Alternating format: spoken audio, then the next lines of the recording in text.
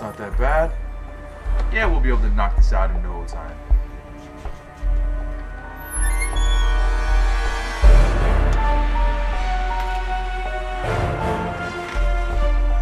What do you got there? Some sort of jewelry box.